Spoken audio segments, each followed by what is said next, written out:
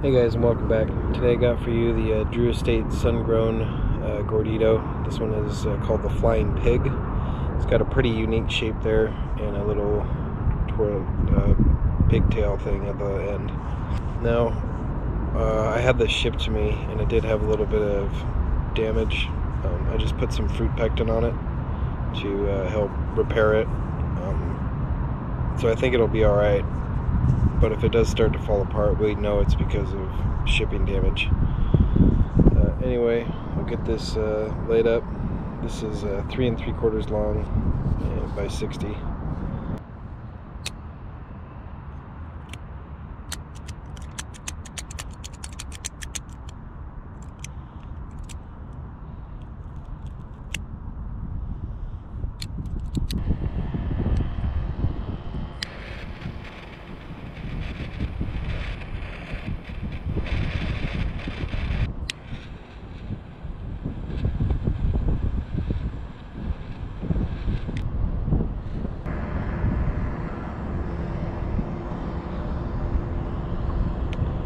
of a dry hay right off the bat. And not getting much more than that yet. Get a little more into it and see how it goes. I'm about 10 minutes in here and it's burning a little funny. This part didn't quite catch up. Might be because of the wind out here. Um, but I'm just gonna touch it up real quick. Other than that I'm starting as that dry hay flavor is still there and I'm starting to get um, kind of like a not very sweet chocolate.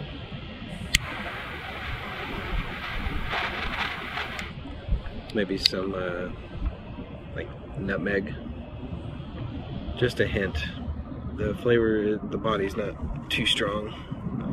Um, I don't. Strength's not too strong right now. Um, other than that, it's going good. The smoke is a little wispy but it might improve after I touch it up a little bit.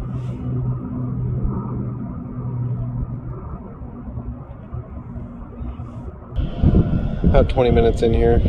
Um, the flavors are pretty much the same. That dry hay on the draw, and then uh, a fleeting cinnamon, um, nutty flavor on the finish.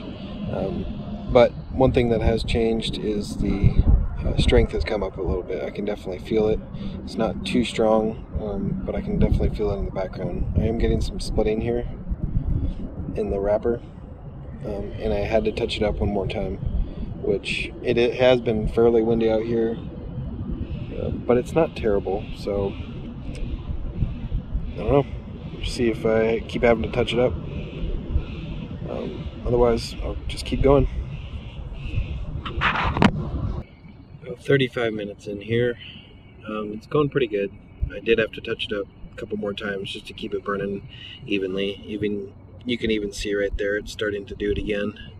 Um, that is right where the crack was though, so I'm gonna chalk it up mostly to shipping damage. But this is kind of a uniquely shaped cigar, so sometimes they it's hard to for the uh, rollers to pack it right. So it might be have something to do with that too if I get another one of these, then I'll do an update. Um, otherwise, this is my experience with this one, so I'm just going to keep going. Uh, the flavors are still pretty much dry hay. The smoke is, uh, it's definitely not smooth. Um, it's not harsh, though. Um, anyway, I'll keep going here. I ended up getting about 40 minutes out of it, and it's starting to uh, burn a little wonky again, so I'm gonna end it here. Uh, the flavors are getting a little washed out anyway. Um, not a great performer. Um, I don't know if it just had to do with the wind or uh, the shipping damage or its shape. So I probably won't be buying this one again, but I might try another one of the shapes, sizes.